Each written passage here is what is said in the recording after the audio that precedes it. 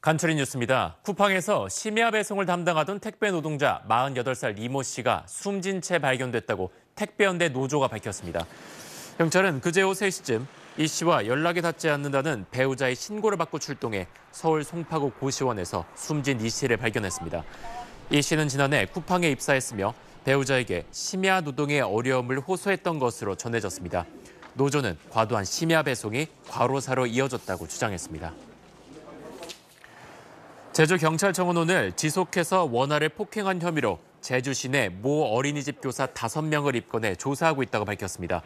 경찰에 따르면 이들 교사 5명은 만 1세에서 2세 원화 13명을 상습 폭행한 혐의를 받습니다.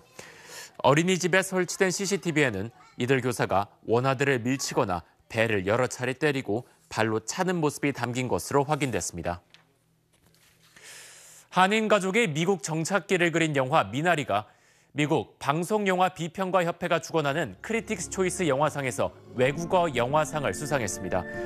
미나리에서 한인 이민자 가족의 막내 아들 역할을 연기한 앨런 김은 아역 배우상을 받았습니다. 미나리는 앞서 미국 양대 영화상인 골든글러브에서도 외국어 영화상을 받았습니다. 지금까지 간추린 뉴스였습니다. 안녕하십니까 편사옥입니다. 더 많은 뉴스와 라이브 이벤트를 보고 싶으시면 화면 오른쪽을 눌러서 구독해 보시기 바랍니다. 또 저희 SBS 앱을 다운로드 하시면 속보 알림도 받아보실 수 있습니다. 항상 저희 SBS 뉴스를 시청해 주셔서 대단히 고맙습니다.